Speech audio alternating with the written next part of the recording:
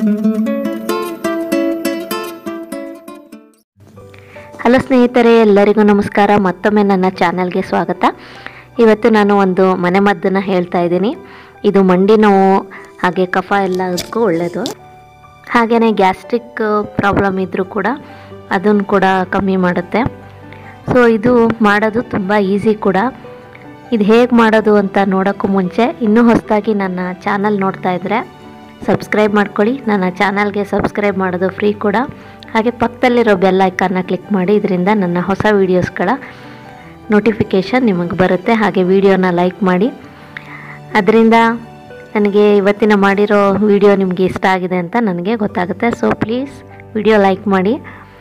ಹಾಗೆ ನಿಮ್ಮ ಫ್ರೆಂಡ್ಸ್ಗಳ ಜೊತೆ ಕೂಡ ಶೇರ್ ಮಾಡಿ. ಅವ್ರಿಗೂ ಇದರಿಂದ ಉಪಯೋಗ ಆಗುತ್ತೆ. ಸೊ ಈ ಮನೆಮದ್ದನ್ನು ನೀವು ಮೂರು ತಿಂಗಳುಗಳ ಕಾಲ ಬೆಳಗಿನ ಜಾವ ಉಗುರು ಬೆಚ್ಚಗಿನ ನೀರಲ್ಲಿ ಈ ಪುಡಿನ ಹಾಕಿ ತಗೊಳ್ಳೋದ್ರಿಂದ ತುಂಬ ಒಳ್ಳೆಯದು ಫ್ರೆಂಡ್ಸ್ ಇದಕ್ಕೆ ಬೇಕಾಗಿರುವಂಥ ಇಂಗ್ರೀಡಿಯೆಂಟ್ಸು ನೋಡೋಣ ಇವಾಗ. ನಾನು ಇಲ್ಲಿ ಧನಿಯಾ, ಜೀರಿಗೆ, ಇದು ಒಂದು ಕಪ್ಪಷ್ಟು ತೊಗೊಂಡಿದ್ದೀನಿ. ಹಾಗೆ ಸೋಂಪು, ಓಂಕಾಳು, ಅರ್ಧ ಅಷ್ಟು ತೊಗೊಂಡಿದ್ದೀನಿ. ನೋಡಿ, ಈ ಬಟ್ಲಲ್ಲಿ ಧನಿಯಾ ಹಾಗೂ ಜೀರಿಗೆ ಫುಲ್ ಒಂದು ಕಪ್ಪಷ್ಟು ತೊಗೊಂಡಿದ್ದೀನಿ. ಧನಿಯಾ ತುಂಬ ಒಳ್ಳೆಯದು ಹಾಗೆ ಜೀರಿಗೆ ಕೂಡ.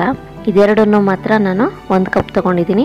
ಹಾಗೆ ಸೋಂಪು ಓಂಕಾಳು ಏನಿದೆ, ಇದನ್ನು ಅರ್ಧ ಕಪ್ ತೊಗೊಂಡಿದ್ದೀನಿ.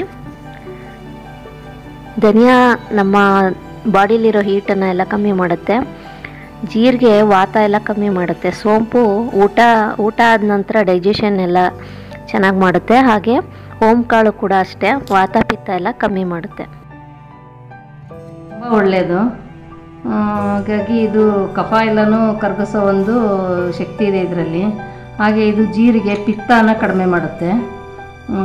ಮತ್ತು ಇದ್- ಸೋಂಪು ಕಾಳು ಜೀರ್ಣ ಆಗುತ್ತೆ. ಊಟ ಮಾಡಿದ ಮೇಲೆ ಡೈಜೆಷನ್ಗೆಲ್ಲ ತುಂಬ ಒಳ್ಳೆಯದಿದು ಮತ್ತು ಇದು ಅಜ್ವಾನ, ಇದು ಉತ್ತರ ಕರ್ನಾಟಕದ ಕಡೆ ಅಜ್ವಾನ ಅಂತಾರೆ ಇದಕ್ಕೆ. ಓಮ್ ಕಾಳು ಅಂತಲೂ ಇದ್ರ ಹೆಸರು. ಇದು ವಾಯು ಎಲ್ಲ ಕಡಿಮೆ ಮಾಡುತ್ತೆ. ಈ ಜಾಯಿಂಟ್ ಪೇನ್ ಎಲ್ಲ ಇರುತ್ತೆ, ಮಂಡಿ ನೋವೆಲ್ಲ ಆಗಿರುತ್ತೆ. ಐವತ್ತು ವರ್ಷ ಆದಮೇಲೆ ಈಗ ಬೇಗನೆ ಬರುತ್ತಲ್ವ ಅದೆಲ್ಲ?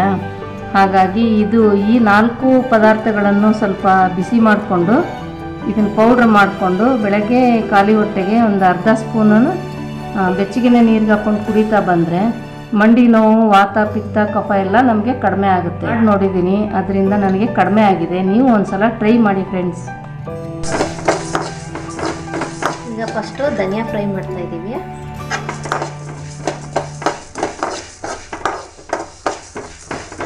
ಸ್ವಲ್ಪ ಬಿಸಿ ಆದರೂ ಸಾಕು ಇದು.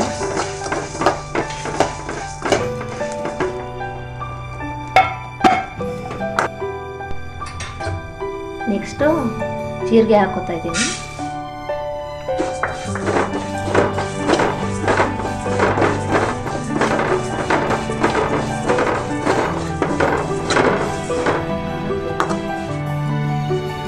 ನೆಕ್ಸ್ಟು ಸೋಂಪು ಹಾಕೊತಾ ಇದ್ದೀನಿ.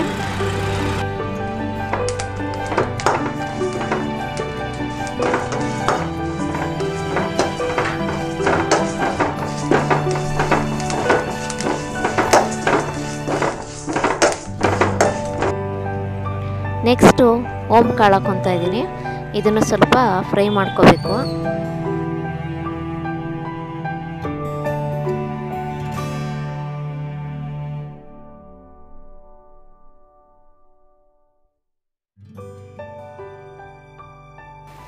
ಫ್ರೆಂಡ್ಸ್ ಇದನ್ನೆಲ್ಲ ಫ್ರೈ ಮಾಡಿ ಇಟ್ಕೊಂಡಿದ್ದೀವಿ ಸ್ವಲ್ಪ ಕೂಲ್ ಆದಮೇಲೆ ಮಿಕ್ಸಿ ಜಾರ್ಗೆ ಹಾಕ್ಕೊಂಡು ಪುಡಿ ಮಾಡ್ಕೋಬೇಕು ಇದನ್ನು. ಇದನ್ನು ಮಿಕ್ಸಿ ಜಾರಲ್ಲಿ ಪೌಡರ್ ಮಾಡ್ಕೊಳ್ಳಿ. ನೋಡಿ ಫ್ರೆಂಡ್ಸ್ ಇವಾಗ ಈ ಪೌಡರು ರೆಡಿಯಾಗಿದೆ ಇದು ಮಂಡಿ ನೋವಿಗೆ, ಹಾಗೆ ವಾತ, ಪಿತ್ತ, ಕಫ ಎಲ್ಲ ಕರಗಿಸುತ್ತೆ ಇದು. ಇದು ಬೆಳಗಿನ ಜಾವ ಖಾಲಿ ಹೊಟ್ಟೆಯಲ್ಲಿ ಉಗುರು ಬೆಚ್ಚಗಿನ ನೀರಿಗೆ ಇದನ್ನು ನೀವು ತಗೊಳ್ಳೋದ್ರಿಂದ ತುಂಬ ಒಳ್ಳೆಯದಾಗುತ್ತೆ ನೋವು ಮಂಡಿ ನೋವು ಕೂಡ ತುಂಬ ಬೇಗ ಕಮ್ಮಿ ಆಗುತ್ತೆ. ಇದನ್ನು ನೀವು ಎರಡೂವರೆ, ಮೂರು ತಿಂಗಳಂತೂ ತಗೊಳ್ಳೇಬೇಕು. ಇದನ್ನು ಅಮ್ಮ ಕೂಡ ಟ್ರೈ ಮಾಡಿದ್ದಾರೆ ಅವರಿಗೆ ಮಂಡಿ ನೋವು ಕೂಡ ಕಮ್ಮಿ ಆಗಿದೆ.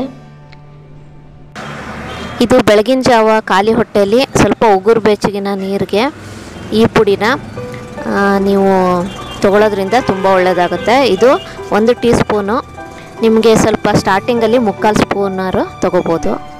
ನಿಮಗೆ ಬೆಳಗ್ಗೆ ಇದನ್ನು ತೊಗೊಳಕ್ಕಾಗಲ್ಲ ಅಂದರೆ ರಾತ್ರಿ ಊಟ ಆದಮೇಲೆ ಕೂಡ ಇದನ್ನು ಕುಡಿದ್ಬಿಟ್ಟು ಮಲ್ಕೋಬೋದು. ಇದರಿಂದ ನಿಮಗೆ ಡೈಜೆಷನ್ ಕೂಡ ತುಂಬಾ ಚೆನ್ನಾಗಾಗುತ್ತೆ. ಸೊ ಇದರ ಬೆನಿಫಿಟ್ ಕೂಡ ತುಂಬಾ ಇದೆ. ಸೊ ನೀವೊಂದ್ಸಲ ಖಂಡಿತ ಟ್ರೈ ಮಾಡಿ. ಈ ವಿಡಿಯೋ ಇಷ್ಟ ಆದರೆ ಲೈಕ್ ಮಾಡಿ. ಹಾಗೆ ನನ್ನ ಚಾನಲ್ಗೆ ಸಬ್ಸ್ಕ್ರೈಬ್ ಆಗಿ. Thank you for watching